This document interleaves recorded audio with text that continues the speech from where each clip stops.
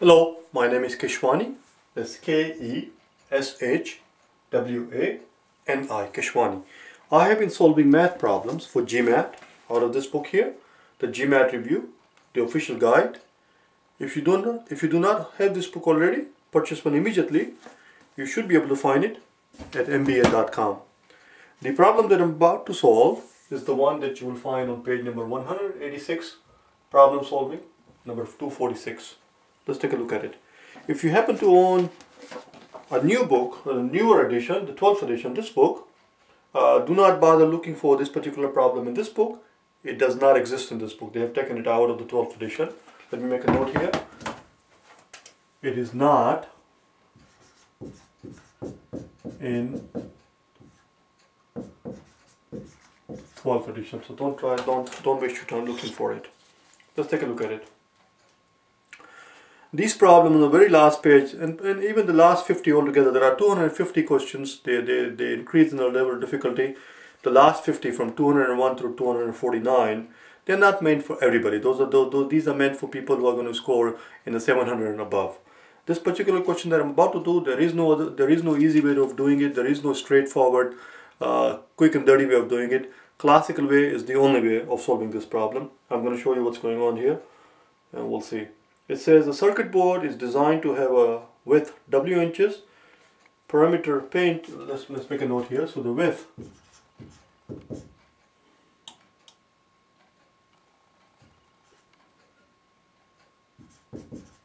is W inches,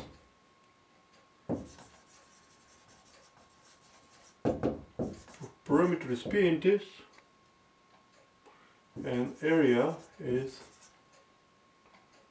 k square inches. And the question simply is which of the following equation must be true, must be true. And that's all it is. That's all they give you. Our job is to use this information and somehow manipulate it until we find out what we're looking for. Something that looks like that. The width is 12 uh, W inches. I'm going to make it a length. Length, let's call it L inches. I'm just making it up. So how do I find express the perimeter? The perimeter is simply if you have a if you have a rectangle, here is your length and here is your width.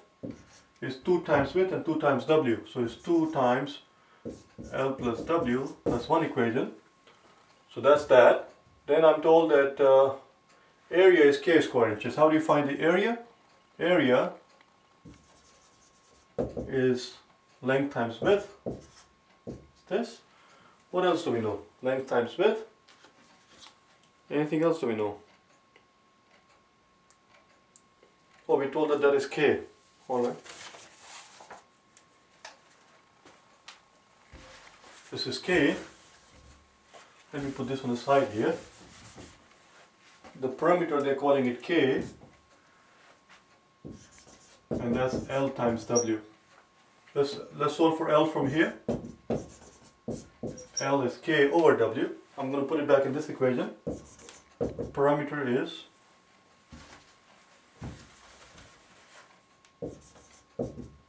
two times L which is K over W plus W. Multiply the whole equation by W so I get WP equals 2 times L plus 2 times W or W squared rather. Does this look anything like uh, what behavior? Oh, there we go. I think we're getting there. There you go.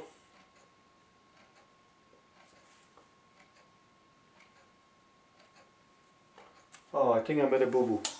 L, I'm so I solve for L. L is K over W. This is K. This should be K. K over W, and this should be 2K. There we go bring the WP to the other side and I think we're done. So 2W squared, bring the WP to the other side, W times P.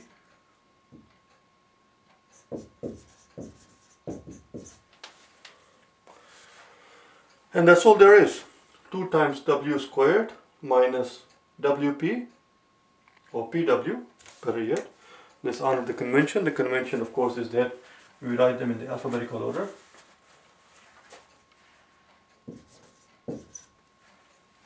I should have done the same thing there. Instead of WP, should be PW.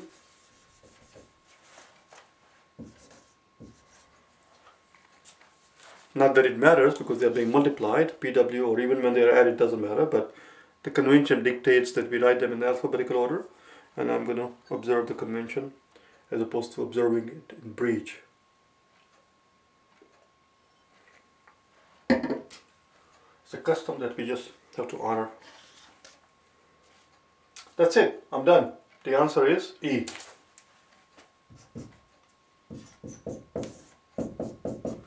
And other than that, there is not much you can do here.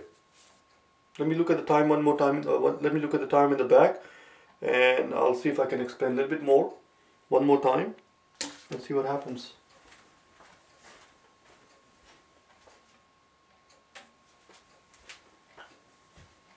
I'm six minutes into it. So very first thing I did is, is that I made up this, this variable. This variable does not exist. I made it up.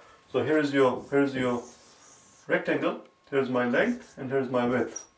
So therefore the area is area, this is this is the area. It's got to be length times width, which is L times W. And from there I solve for L from this equation. L equals K over W. So that's this part right here. And then I took this equation, L equals K over W, and substituted in this equation. So P equals, P is the perimeter, which is simply 2 times W and 2 times L, which is what this is, 2 times 2 times L plus W. So then I took the value of the L from this equation, K over W, substituted back in here. So we get 2 times K over W plus W, multiply the whole equation by W, PW equals times PW equals 2K plus 2W squared. And you just write them in the form that you that you see in one of the answer choices. You have to keep manipulating it until you find something that looks close to the way the answers are presented. That's all. I hope you found it helpful. If you wish to hire me for personal private tutoring or if you wish to purchase the solutions to all the problems including the data sufficiency problems along with the 250 problem solving questions.